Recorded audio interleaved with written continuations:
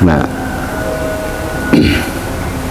maka kan eh, kemarin juga sudah sempat eh, saya singgung, ya, kemarin sudah saya sempat singgung bahwa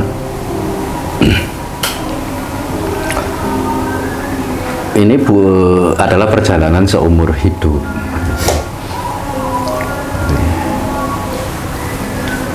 Puasa itu perjalanan seumur hidup. Jihad akbar itu adalah perjalanan seumur hidup ya sampai sakaratul mau datang. Jadi ojo ke susu lego, ojo ke susu seneng. Nah, gitu. Wong buktine anggere bar yoyo mesti do melu. Ya iya tuh. Ijek mulai yoyo dompetnya sing ngisi sak juta sapa? Aku mau satu bayi. Orang. Oke, bayar rumah sakit teman.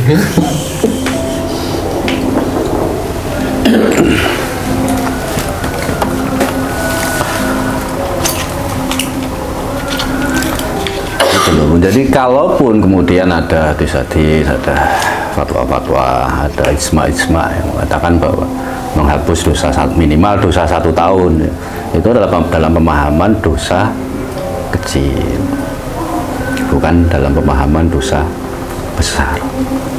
Dosa besar ya hanya bi- bisa dihapus dengan perbuatan besar. Gitu. Apakah puasa itu bukan perbuatan besar? Iya, ketika dia mampu memposisikan dirinya dalam posisi sadar makhluk tadi sebagai Abdullah.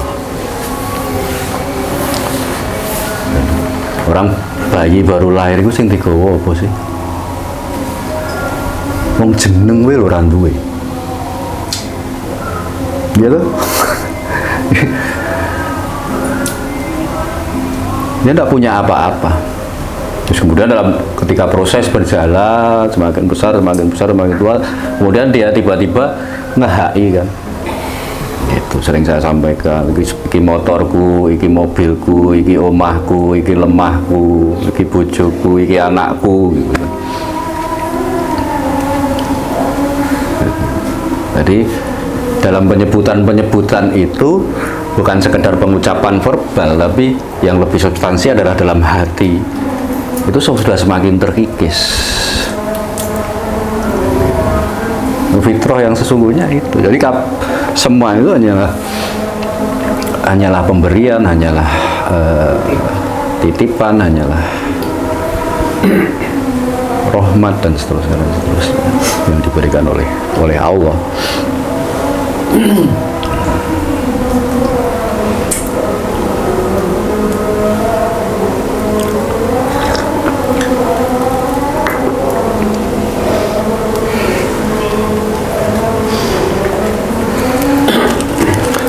makanya kan sebenarnya jadi saya sebut bahwa sawal lebaran itu adalah aplikasi dari puasa kan. bukan pes, puncak pesta Ya itu. gitu loh bukan puncak pesta nah dan sesungguhnya kita beruntung sekali hidup di negara Nusantara Indonesia yang memiliki kultur mudik yang memiliki kultur lebaran yang tidak ada di negara lain. Yang substansinya sebenarnya semua semua kultur itu adalah aplikasi dari puasa.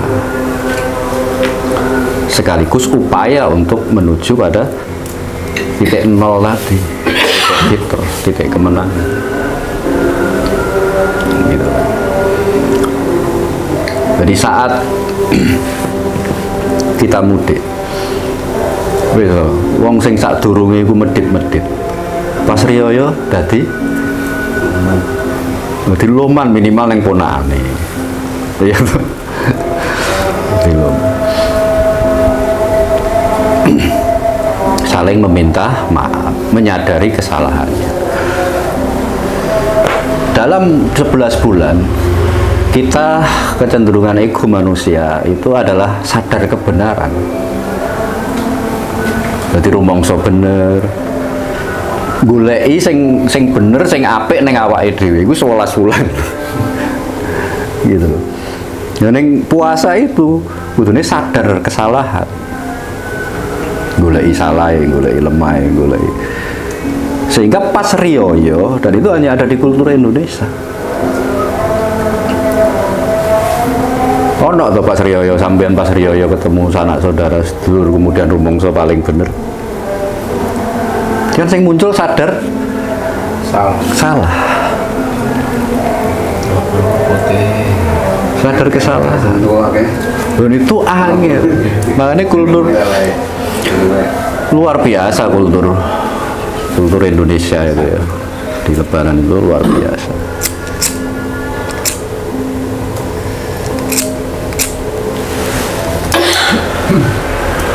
sing diceritakne ketika ketemu sanak saudara ketemu konco lawas kan nggak pangkat nggak derajat nggak kedudukan nggak mobil piro nggak omahe ukuran piro tingkat piro ndak tuh anak bojo wis kelas piro umure piro sekolah ning endi kan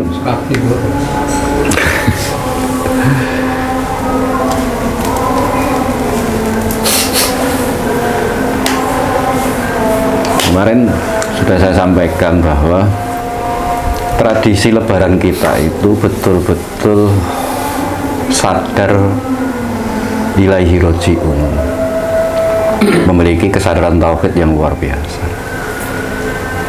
Sadar sangkan paraning dumadi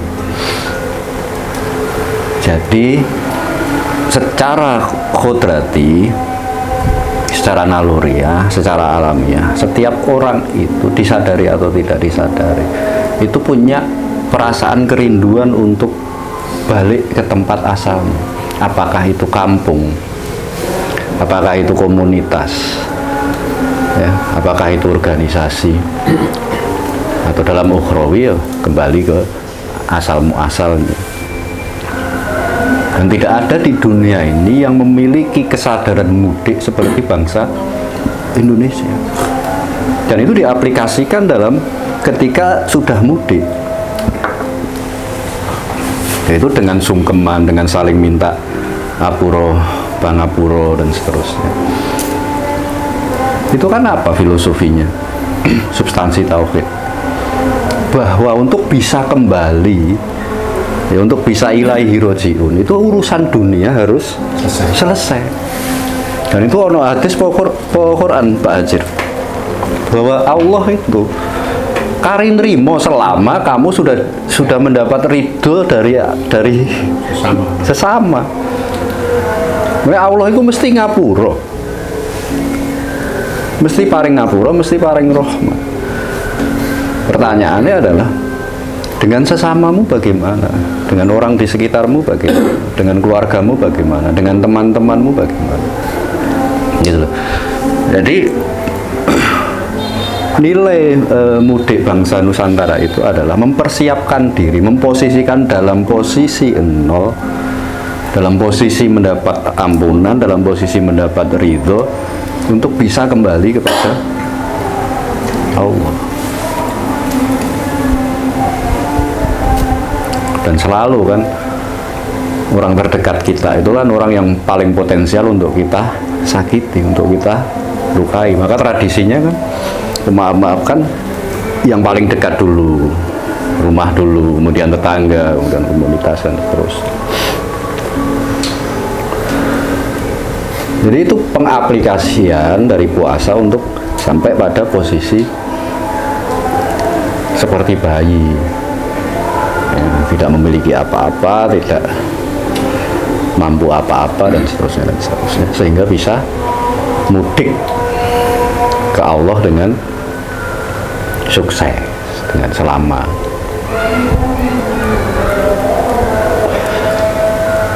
Selama sesama kita belum memaafkan kan Allah tidak menerima, ngono ya.